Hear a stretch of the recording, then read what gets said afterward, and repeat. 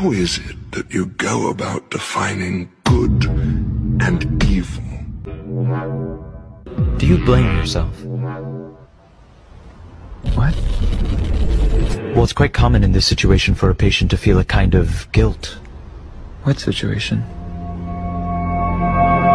The accident. Are you tormented by memories?